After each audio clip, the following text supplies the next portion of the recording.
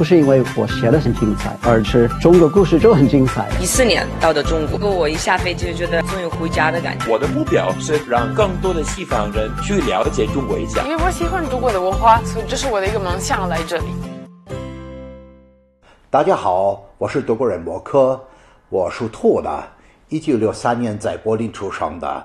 我周围的人一大部分跟中国有关系的，从小都听过中国的事情。得益于京津冀协同发展与举办冬奥会两大机遇，这个被群山环抱的北方小城开启了国际化之路，吸引了世界各地的人来张家口逐梦。默克定居中国近四十年，来自柏林的他自幼与中国结缘。二十世纪七十年代学中文，八十年代在北京大学攻读硕士和博士学位，九十年代开始在中国工作，并以德国汽车企业 CEO 的身份从事智能制造二十五年。二零一五年。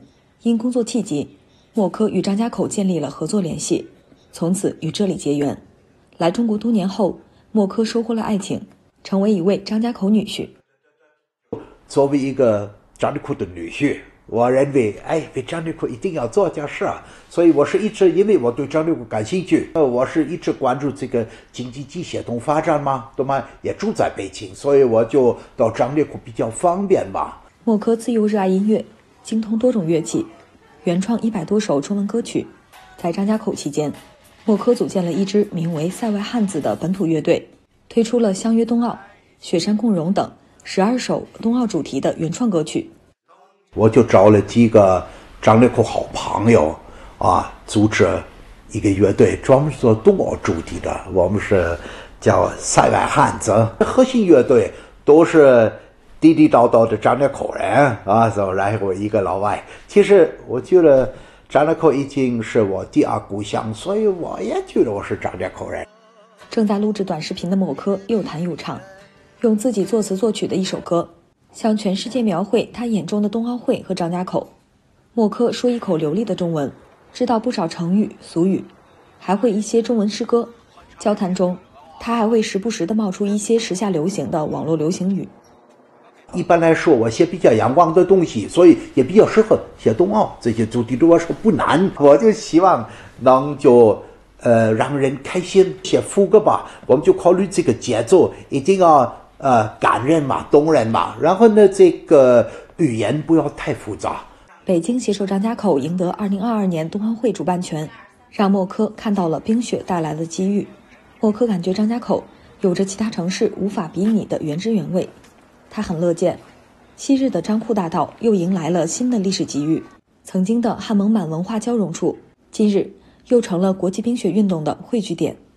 一方面，我们做一些中文的歌曲啊，鼓励大家好好的努力，把这个冬奥做好，然后也是给外国的朋友看，我们到底是怎么样的一个地方嘛。唯有亲眼看见，才能真正认识中国。张库大道曾将张家口丰富的商贸文化。带往世界各地，冬奥会也将成为张家口和世界的最佳连接点。为此，默克成立了文化传媒公司，拍摄了不少推介张家口的短视频，并发布到网络上。当下，默克正在以张家口国际合作交流中心有限公司主任的身份，向世界讲述张家口故事。除了冬奥这个大家都当然最感兴趣的主题，我们也认为是一个好的机遇，也把每个区、每个县。就专业介绍一下，让他就了解。哎呀，张家口本来是那么丰富的文化。在默克看来，北京2022年冬奥会不仅是一次体育赛事，更是张家口可再生能源和环保能源发展的重要机遇。因为我疫情受到限制，所以很多朋友没法来张家口。我们现在在这种短视频方面做的多一些，在节目方面做多做一些。介绍工作，这种短视频的推广介绍，我认为是更重要的吧。先考虑我们自己第二故乡张家口的发展，我们也希望人有一个非常深刻的印象。